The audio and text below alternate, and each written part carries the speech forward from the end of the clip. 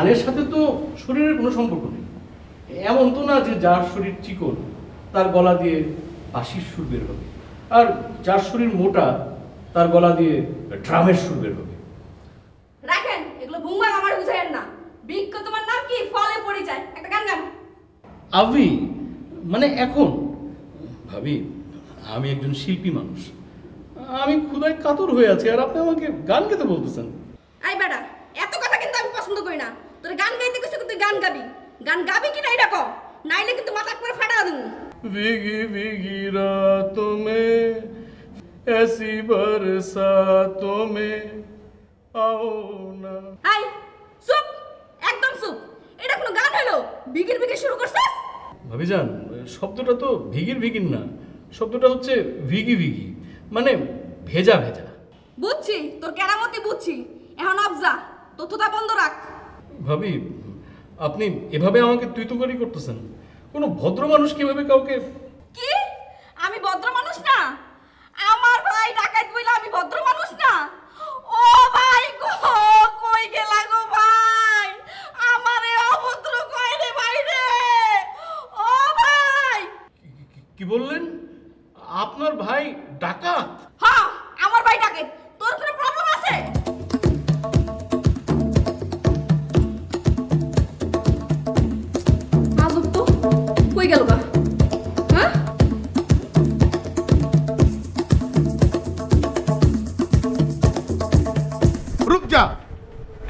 Minute रुक जा तुम कौन है কই যাবে জি উপরে যাব আরে উপরে তো আমিও যাবো উপরে আমি যাবো তুমি যাবো পৃথিবীর সবাই এক সময় না এক সময় উপরে যাইতে হবে জি উপরে তো সময়কে এক সময় না এক সময় যেতেই হবে কিন্তু আমি তো সেই উপরের কথা বলছি না তাইলে আমি বলছি যে আমি তৃতীয় তলায় যাব নাইলাদের বাসায় জি নাইলা কি আপনার পরিচিত নাকি জি আমার বান্ধবী।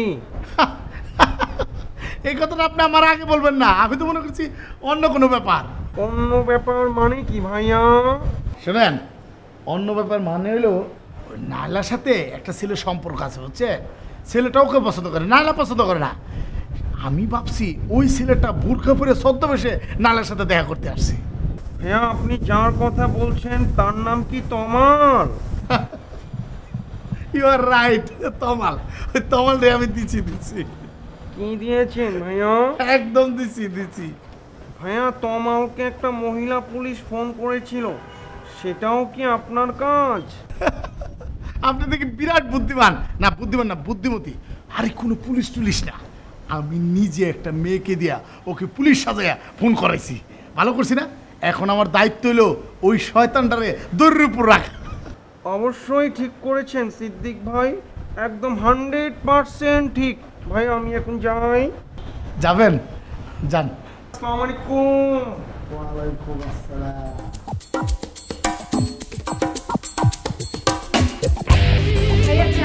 ও হ্যাঁ চা। এ চিনি বেশি। বস। কি বলবে বলো? আরে তুই আমার রাগ করছিস তা না? বস বস বস বস।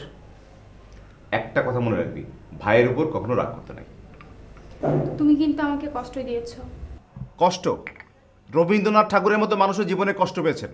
কষ্ট পাওয়াটা জীবনে একটা স্বাভাবিক ব্যাপার। কষ্ট পেলে মন খারাপ করার কিছু নেই। কিন্তু ভাইয়া নিজের বিয়ে ঠেকানোর জন্য অর্পিকে এসব মিথ্যা না বললেও পারতে। আরে তোর অর্পি একটা মানুষ। কি? না মানে বলছি যে অর্পি আর কি? মানে বাচ্চা একটা মানুষ কি বলতে কি বলেছি তো? মানে এটাকে নিয়ে মন খারাপ করার কি আছে? আম্মাকে নিয়ে বাড়াবাড়ি করা তোমার মোটেও ঠিক হয়নি ভাইয়া। দেখ নাইলা এই এক সাবজেক্ট নিয়ে বারবার পেঁচাল পড়তে আমার ভালো লাগছে না। এই সাবজেক্টটা বাদ দে। এখন নতুন একটা সাবজেক্ট হলো তোর বিয়ে। ভাইয়া আমার কাজ আছে আমি যাই। এই শোন কই যাস? চুপ করে এখানে বস। ভাইয়া আমি তো বলেইছি এখন বিয়ে সাথে আমাকে দিয়ে হবে না। সেটাকে আমি জানি না। মানে? মানে শোন সম্প্রতি একটা ছেলের সাথে আমার পরিচয় হয়েছে। চেহারাটা অনেক সুন্দর। দেখে বোঝা যায় অনেক বড় লোকের ছেলে গলায় চেনটেন। আর চেহারাটা দেখতে হচ্ছে তারা মনে করে। মনে পড়েছে চেহারাটা হচ্ছে ফিল্মের নায়ক আর নট সোয়াজ নেগারের মতো। কার মতো? সোয়াজ নেগার টার্মিনেটর দেখেছিস না? ওই যে নায়কটা ওই রকম উফ ভাইয়া আমার এসব কথা শুনতে একদম ভালো লাগতেছে না। প্লিজ। আরে বাবা বিয়ের প্রস্তাব দিয়েছে মানে কি তুই মনে করছিস যে আমি বিয়েতে রাজি হয়ে গেছি? আমি কি বলেছি শোন আমার ছোট্ট বোন তা আমার এই ছোট্ট বোনকে আমি এখনই বিয়ে দেবো না। সত্যি তুমি এই কথা বলেছ ভাইয়া? হ্যাঁ। আমার বিশ্বাস হয় না। এবার কিন্তু আমি কষ্ট পেলাম। ঠিক আছে বিশ্বাস করব তবে একটা শর্তে। কীরকম? তুমি আর কখনো বিয়ের ব্যাপারে আমার কোনো কথা বলবে না। ব্যাস এটুকুই। এটাই তো শর্ত। ঠিক আছে। আজ থেকে আমার বোন কোনো কষ্ট পায় এরকম কোনো কাজ আমি করব না ঠিক আছে? ভাই আমার ফোন আসছে আমি যাই। আচ্ছা ঠিক আছে ওই চায় চিনি দিয়েছিস তো ঠিক মতো? চুমুক দিয়ে দেখো। আচ্ছা ঠিক আছে যা।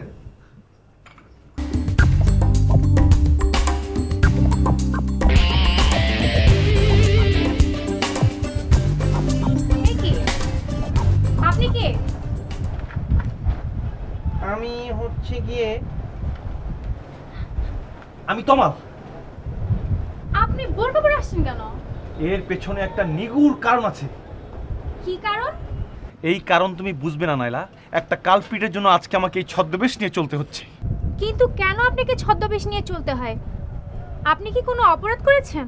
হ্যাঁ করেছি। জীবনে একটা চরম অপরাধ আমি করে ফেলেছি নাইলা কি করেছেন? আমি প্রেম করেছি। দেখেন তমাল ভাই সবসময় ফাইজলামি আমার ভালো লাগে না। কি বলছো নাইলা প্রেম করা এটা কি কোনো অপরাধ? এটা কি ফাজলামি? না এটা ফাইজলামি না।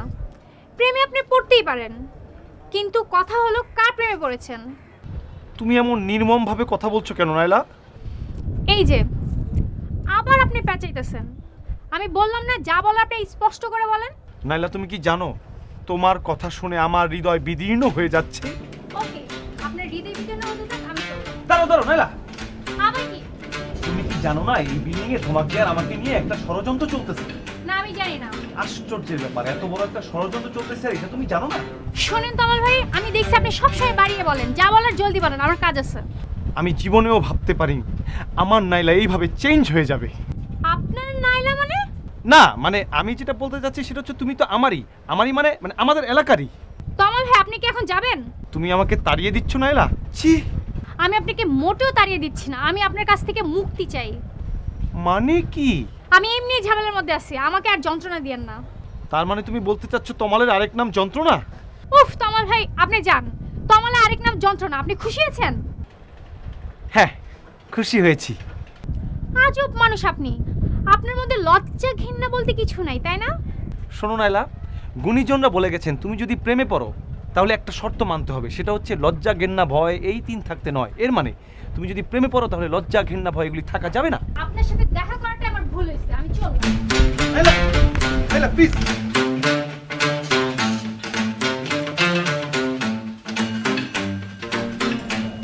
এক্সকিউজ মি জি আমাকে বলছেন? জি আপনাকেই বলছি আপনি ওই উপরে কোথায় গিয়েছিলেন? জি আমি একটু ওই সিদ্দিকের সঙ্গে দেখা করতে গিয়েছিলাম। উনি কি আপনার কোনো রিলেটিভ হয় নাকি? জি আমার খালাতো ভাই। বুঝতে পেরেছি। ওনার সাথে না আমার আলাপ আছে। আলটিমেটলি উনি তো আমার বিজনেস পার্টনার হচ্ছেন। তাহলে তো আপনার খবর আছে। জি মানে কি? আরে ভাইয়া ওই বলদটা কি বিজনেস করবে? ওর কাছে কি টাকা আছে নাকি? কি বলেন? টাকা নাই কিন্তু উনি যে বলল বললাম না ও একটা বলদ। ওকে আমরা ছোটবেলা থেকেই বলদ বলদ করে রাখতাম আচ্ছা বলদ বলদ রাখতেন কেন বলেন তো? উনি কি বোকা?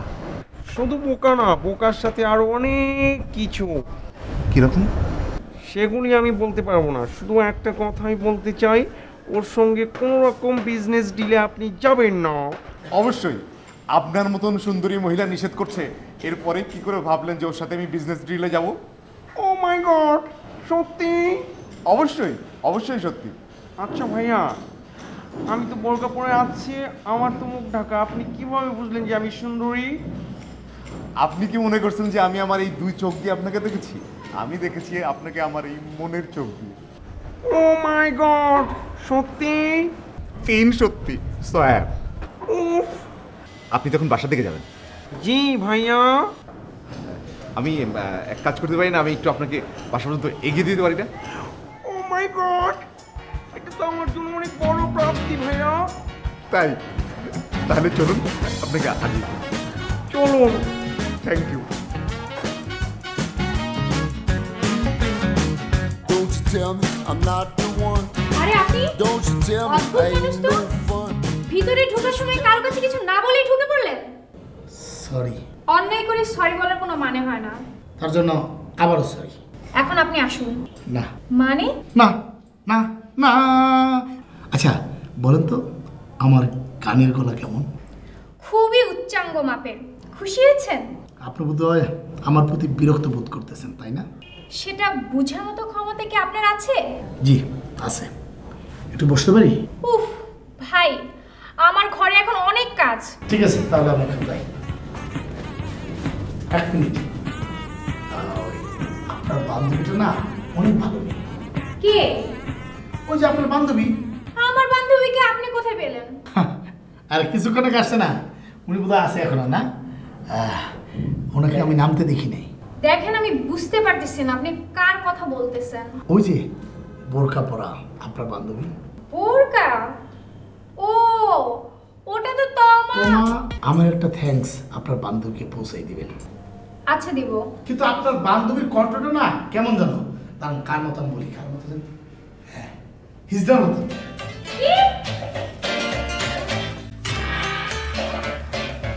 এখানে দাঁড়াই হ্যাঁ কি সুন্দর প্রকৃতি না?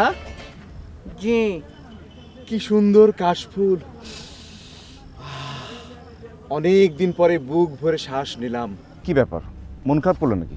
না আপনার তো শুধুই কাশফুল প্রিয় অন্য কেউ প্রিয় না তাহলে আমি এখানে কি করছি? মানে? আমি বাসায় যাই। আরে কি বলো? বললাম তো আমি বাসায় যাই। কি মুশকিল আমি কি সেটা মিন করতে চেয়েছি নাকি?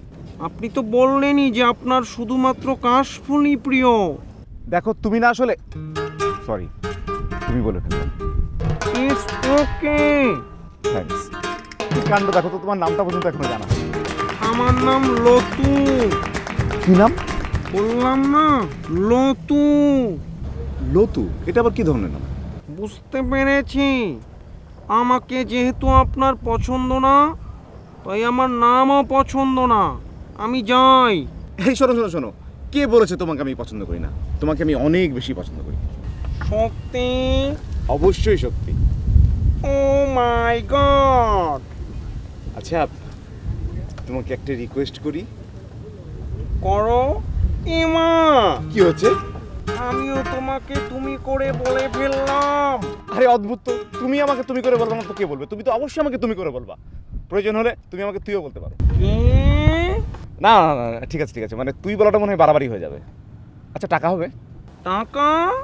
না বলতেছিলাম যে মানে টাকা হবে কিনা মানে টাকা আছে কিনা রিক্সা ভাড়াটার আছে কিনা। যদি না থাকে তাহলে আমি এগিয়ে দিই তোমাকে চলো। না না। তুমি আবার কষ্ট করে কষ্ট বলছো কেন? তোমাকে পৌঁছে দিতে কি আমার খুব কষ্ট হবে নাকি? পাগলি মেয়ে। একটু দাঁড়াও।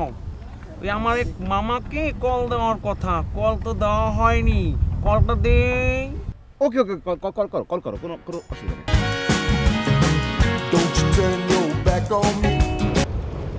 হ্যালো হ্যালো শরীফ শুনো তোমার সঙ্গে অত্যন্ত জরুরি একটা কথা আছে। কথাটা হচ্ছে আমি তোমার বাসার নিচে একটা ছেলেকে নিয়ে আসব রিক্সায় থাকব, আমি কিন্তু বোরকা পরা। তুমি আমার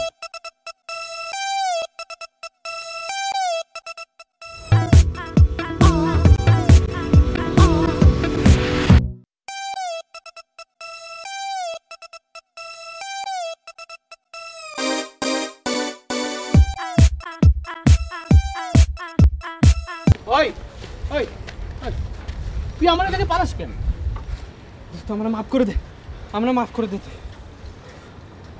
ওই দিনের চাপার ব্যথা আমার এখনও যায় না আরে আমি কি তোর সবসময় মারি নাকি? ওই দিন মেজাজটা এমন বিলায় উঠছিল যে কি করুম?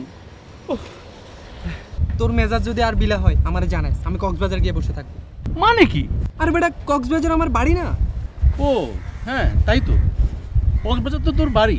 চিন্তা করে দিছি তোর হাতে থাপ্পড় খাওয়াচ্ছে কক্সবাজারে বসে থাকা অনেক ভালো। তুই কে? আরে তুই হইলে আমার জিগরি দোস্ত। আরে তোর সাথে কি আমার চরের সম্পর্ক?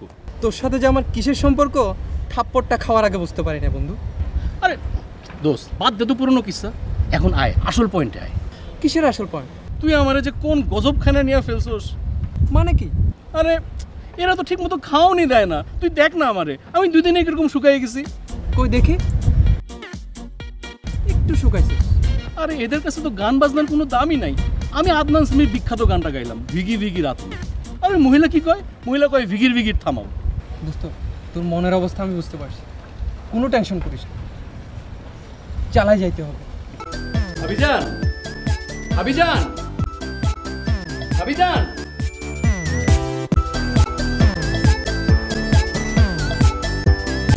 কি? তোমার এত বড় সাহস? তুমি আমার জান কইলা না মানে মনে হয় কি একটু ভুল বোঝাবুঝি হচ্ছে। আসলে আমি তো আপনাকে শুধু জান বলিনি আমি আপনাকে বলেছি ভাবি জান। তোমারে প্রথম দিন দেখে আমার সন্দেহ হয়েছিল যে তোমার মধ্যে ভেজাল আছে। হ্যাঁ? জি নেই ভাবি। জি ভাবি মানে এটা আপনার ভুল ধারণা ভাবি। কিসের ভুল ধারণা? মানে আমার ভেতরে ভাবি সত্যি কোনো ঝামেলা টামেলা নেই। তার মানে কি কইতেছো আমি ভুল কইতাছি? ভাবি আপনার ভুল হচ্ছে ভাবি এত বড় সাহস আমার মুখে মুখে কথা সরি ভাবি। ভাবি বেয়াদবি হলে মাফ করবেন। ভাবি একটা কথা জানতে চাই। কি কথা? ভাবি মানে আপনার চেহারার ভিতরে যে একটা মিষ্টি মানে সুইট একটা ভাব এটা কি ভাবি জন্ম থেকে? আমার চেহারা মিষ্টি ভাব মানে? জি ভাবি এই যে এই যে কি সুন্দর চেহারা। ও তুমি তো অনেক সুন্দর করে কথা কও। জি না ভাবি আপনার মতো সুন্দর করে আমি কথা বলতে পারি না তুমি অবশ্য ভালো পোলা তোমার একটা কথা কম যায় কিন্তু কথা দাও কাউরে না কথাটা। কি বলেন ভাবি? আপনি নিষেধ করলে আমি কাকে বলতে যাব? শোনো তোমারে কইতাছি এই কথা যদি কোনোদিন লিক হইছে যদি আমি শুনি তোমার জিবার টান দিয়ে আমি সিরা ফেলামু।